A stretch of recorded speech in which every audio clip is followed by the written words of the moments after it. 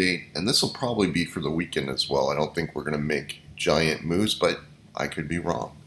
Uh, let's go over and take a look at where we are, where we came from, and what can we expect.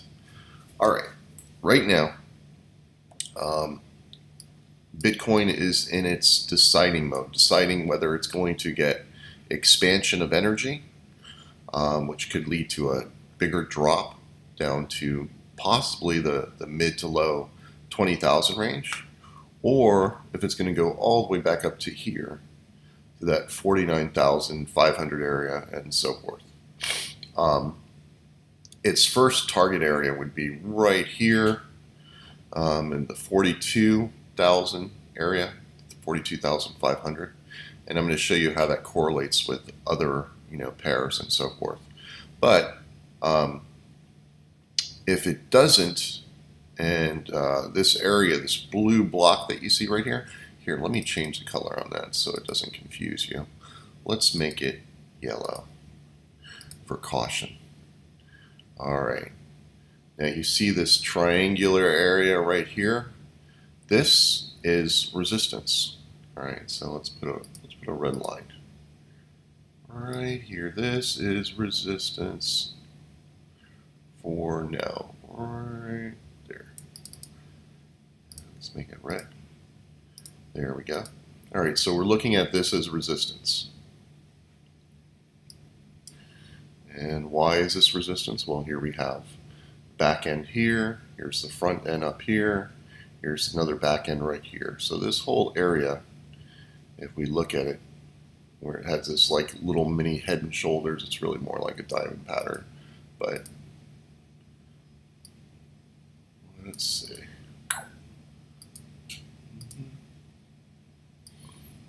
You see this area right here, how it broke through there and now it's coming back up to test.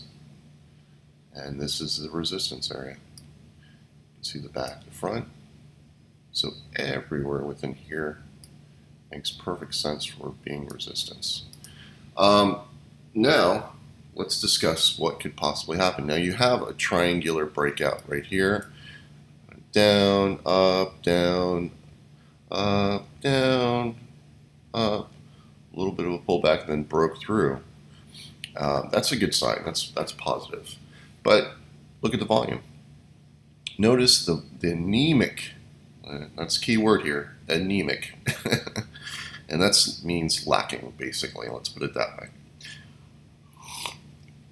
And uh, the anemic volume that we're getting uh, is there's no real interest. People are, you know, uh, so that is not really a good sign. Now, a, a good sign is the fact that I have seen big orders. Even with the smaller volume, I've seen big order buying. Um, so there's hodlers out there, institutions, in my opinion, um, and they're doing it on the down low.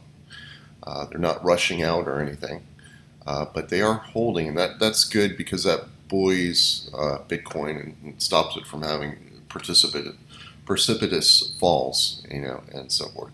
But we're still in this triangular point of time where statistically we're more likely to go down than up, right? From May all the way going out until July, uh, the 21st of July.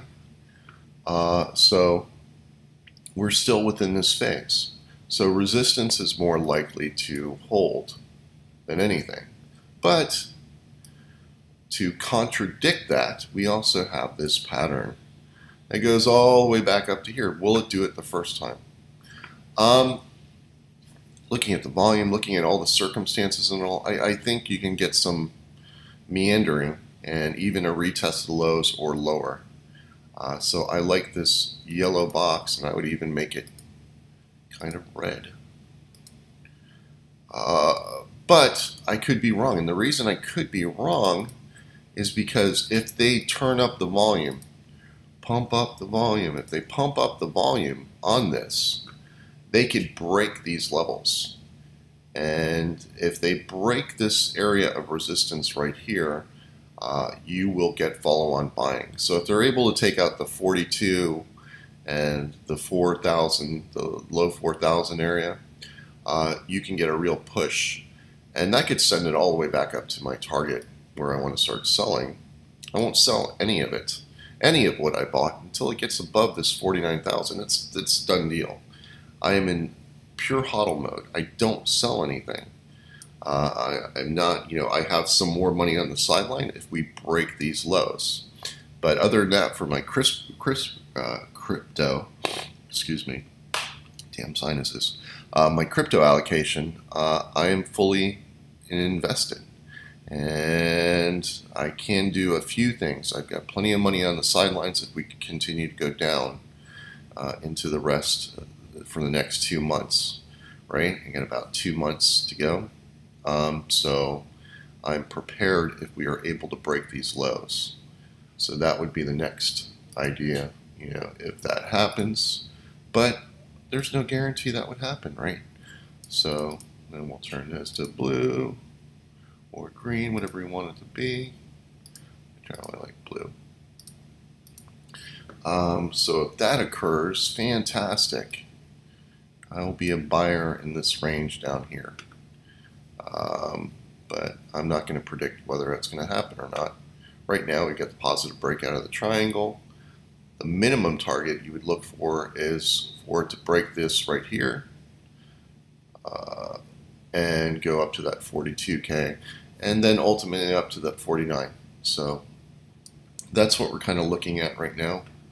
It is showing some strength, but the volume, uh, the only thing that I like is some of the buy orders have been bigger, but that's just institutions moving into the space. And it might be smaller people catching up. Nothing of real interest, I guess you can say. Now, you know, that's Bitcoin. So again, holding for this 49,000 area, looking to buy under the current lows as we go forward. Uh, we might just meander and, you know, uh, we'll see. All right, now let's get at Ethereum. Ethereum is trading near, and this shows positive positive momentum. This is trading near resistance. See this red line right here? If I wanted to sell any of my Ethereum, I would do it above the 2900 uh, level from what I bought down here and here. Um, but not really sure kind of want to hold it until uh, see what it does. If it goes exaggerates upwards and see if Bitcoin goes to the 49k, then I'll look to sell. I'll try to do it in unison with each other uh, because I think that this could get extra push and go all the way up to the uh, 3300, 3400 area, or maybe even higher, maybe up to here, up to 35 and so forth. Uh, that's kind of like what I, I feel. I think um, a lot of a lot more buyers are available for Ethereum uh, than for um, for Bitcoin right now. Bitcoin kind of has a negative vibe to it, where Ethereum has a more positive vibe. Just to point that out and whatnot.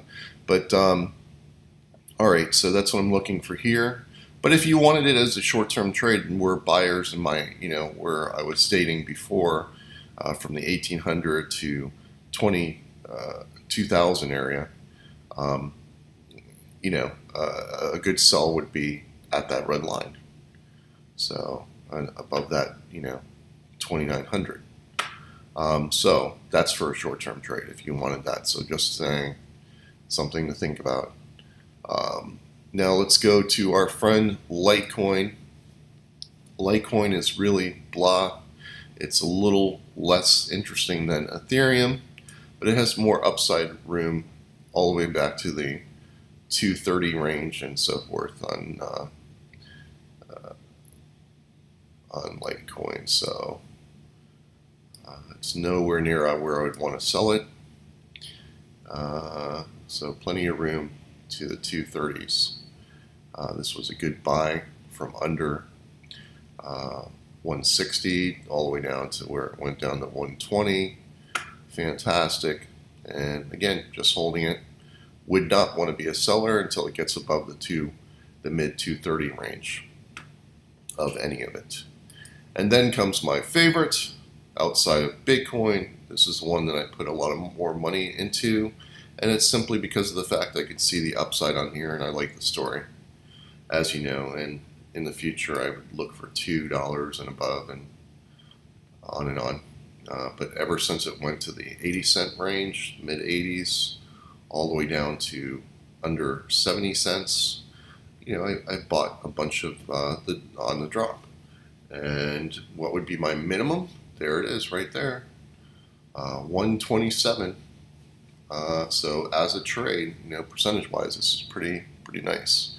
But I probably would, again, like with Bitcoin, want to hold it and wait to see Bitcoin hit that 49, uh, mid 49,000 mark before I be become a seller on any of these XRP, Litecoin, or Ethereum because they might go over this area here and uh, in its followship of Bitcoin. It's just something that it would possibly do. All right, so now you get a picture of what I'm thinking and how I'm approaching it. Um, I'd rather the market personally but again, you know, I want you to make a, a note here that our thoughts don't have anything to do with the market and how we trade. I would like the market to go over and do this and that, but I don't trade based off of what I would like or what I think or what I heard. I hear way too many of you making these speculative arguments that are designed in your mind because your minds aren't wired correctly yet for trading um, to actually take action based on a thought or an idea or something you heard. It's not how you trade. You create a plan that's logical. Uh, whether you agree with it or not is it make it's regardless. I pay my attention to the market and what it does and it's likely to do, and I keep my own personal opinions and ideas out of the place. Um, I'd love to see Bitcoin drop and go all the way down under the lows. That would be preferable because I know what I'm targeting to the upside. So I want an opportunity to invest even more. So it dropping down to here would be ideal for me. But that's my own opinion of what I want. Will that be what the market does? And, and am I going to, you know, I've got my plan. I'm going to be buying more down here. Um, that's all I need.